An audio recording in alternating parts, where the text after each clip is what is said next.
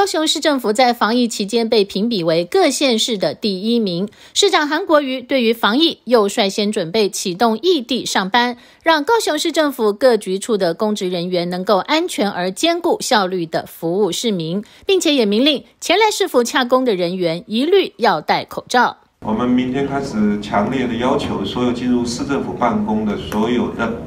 市民朋友们一定要戴口罩，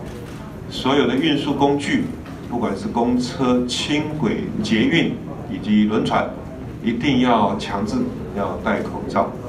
那再来，我们市政府所有的员工，过去这几天连续假期去过这十一个景点的，目前为止将近有一千两百位。我们授权各机关的主管去了解这一千两百位的同仁，在这十一个景点待留的时间的长短，还是有的家本身就住在这些。经典区附近，那要视每一个人的状况来大大家自己来研判，那是属于自己来自主管理嘞，还是啊在家上班？我们授权各机关主管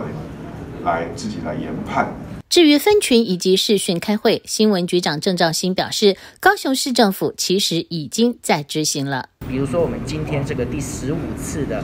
呃防疫疫情会议，其实就已经采取了分群视讯的做法。那我们在四维行政中心的十楼的会议室，那包括我们很多的参与的幕僚，其实他已经在用视讯的方式。我们今天是要采取分群的视讯会议的形式。那么未来呢，也会不断的依次演练，各局处呢都包括跟教育局或者是税捐处这样子已经采取先行视讯会议的单位来进行示范或者是进行观摩。那么未来依据疫情的发展，我们会考虑说是不是要扩大规模来办理。针对民众不戴口罩而搭乘大众运输工具，高雄市府也表示将处以最高一万五千元的罚则，希望高雄市民能够自我规范，进而能够维护自己以及他人的健康。美国每天电视在高雄的采访报道。